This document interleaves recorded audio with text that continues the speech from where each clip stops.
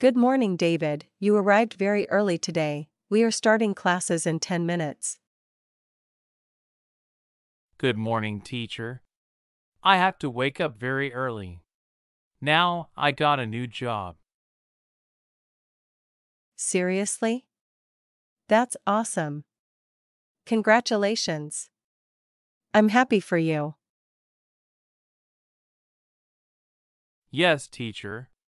And it's all thanks to you. Because I studied hard to pass the interview. No, it's my job. So, now. You're working in a telemarketing company? Yes. That's right.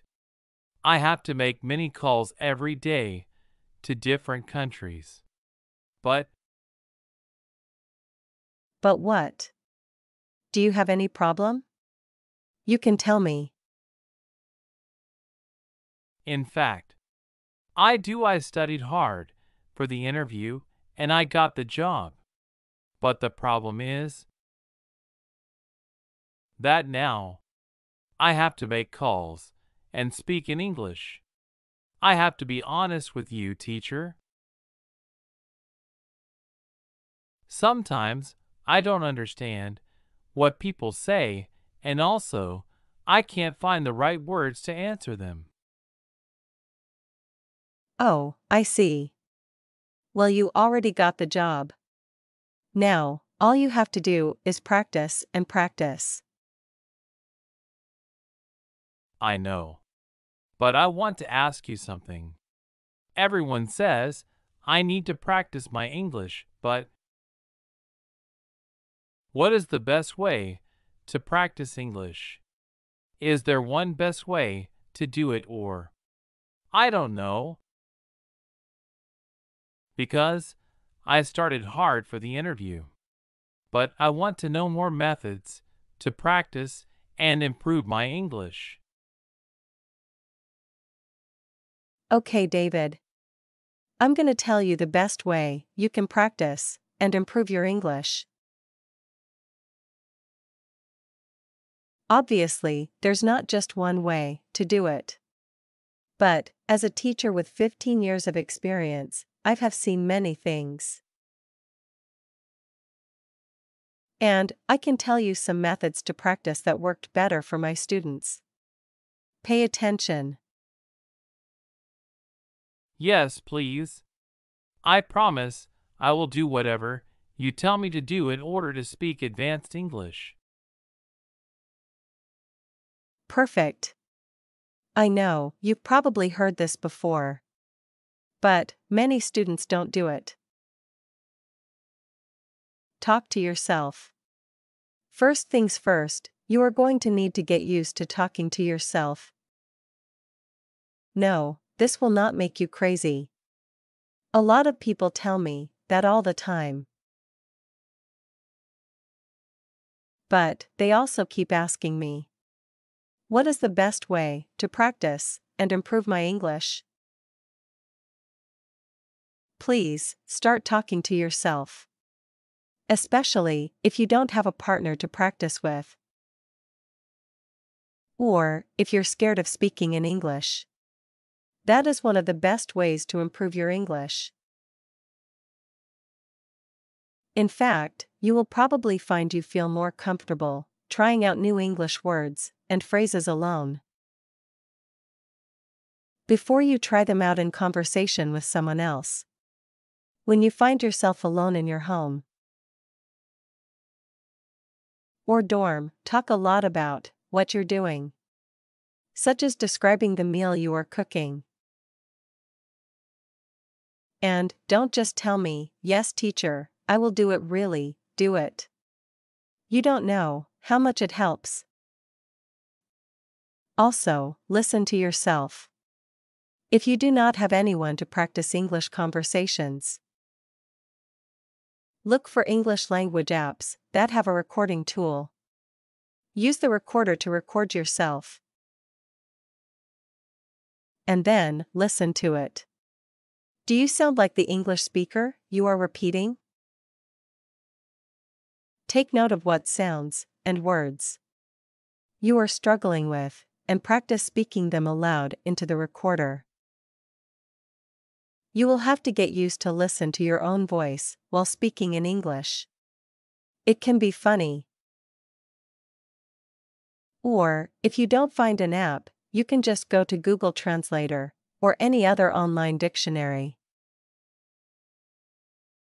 Most of them have this option to listen to the pronunciation of the word or sentence written. And it would be much better if you watch yourself talk. Believe me. Another unique way to practice speaking and build your confidence is to use a mirror. You will be able to see how your mouth moves and forms words, as well as your body language. Because it's not just to speak in English. We usually express our emotions while speaking. So, if you're saying, for example, I won the lottery, you must sound really happy, right? Then, that's the secret to make that word or sentence sound more natural or native. For example, when I record my voice for the YouTube videos, I try to do that. And talking about videos, you can also try read along with subtitles. It helps a lot. Whenever possible, you should use subtitles. While subtitles also help you learn how to read in English. You can also use the subtitles to practice reading aloud. When you read aloud, you are speaking. Usually, students ask me, Teacher, I like your videos. But, I want to improve my speaking, not my listening. Man, they don't realize they can practice all the skills with these videos. Seriously. That's why they have the text this big. Because they can practice reading, they can also write it down. To practice writing.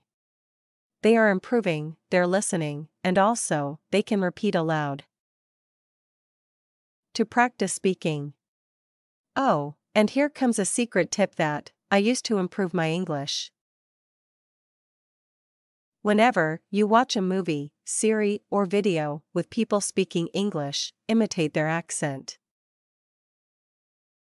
And, not only that, you can try imitating their expressions, tone of voice, and those kind of things. You're wondering why? Because it will help you adapt those expressions to make it more natural. And, I'm not telling you to imitate the person forever. Only at the beginning, to get used to it. Then, you could do it with your own tone of voice, expressions, and so on. Just try it, please. Oh, this way to practice is something new. But, it can help you a lot, speaking English to a virtual assistant. Set up any virtual assistant tools you use, such as Siri, Google, or Amazon Alexa, to speak in English. Not only will the virtual assistant speak in English, but you must also speak English to get a response. Additionally, this is a great way to improve enunciation.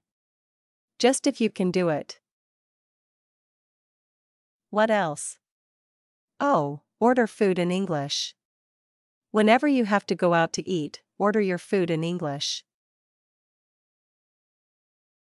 This actually applies to any time you're speaking with a customer service representative. Some companies have bilingual workers who are prepared to answer in English. Try that.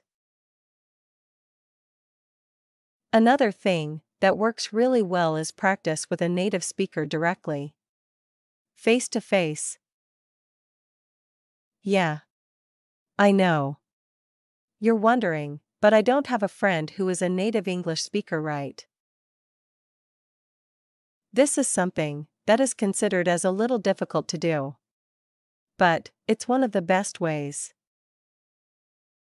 Prepare a survey, some questions, you have to make it as professional as possible, remember that. Then, you'll go to a tourist place. A place in your city where English speakers usually go to visit. Then, ask them to help you answer in some questions. Ask them politely, please. Some of them may not accept. But, you can find some tourists that will be happy to help you. Just have confidence in yourself when asking. It's an excellent way to practice your English. Awesome. Thank you, teacher. I'm taking notes of all those tips. What else? Oh no. I'm busy. Maybe next time. Just if you guys want another video about ways to practice and improve your English. That's all for today. I hope you like this video. I hope this video will help improve your English listening skills. Don't forget to leave a like, comment, and subscribe to the channel. See you again in the next videos.